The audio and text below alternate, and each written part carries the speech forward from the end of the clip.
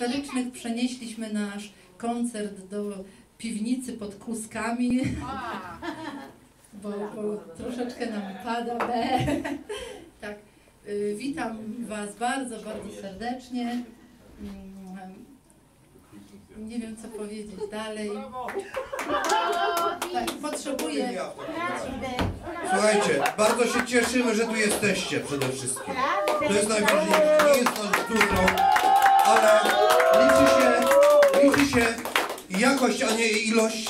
Nie, żeby nas tutaj było tysiące, bo to nie jest farma Maxa Jazgóra, gdzie było 400 tysięcy ludzi, jest nas może 30 tutaj, ale ma być dobra atmosfera i ona już jest. Pomału y, mini festiwal, a może akcja muzyczna w Gorzeszowie uzna, y, uznajemy ją za otwartą. Pierwsza, pierwsza. Krzysiu Rodak na początku. Poczekajcie, bo ja się trochę boję, bo też się od deszczu zaczął, nie? A co było? Na górze latali potem. Na trawie się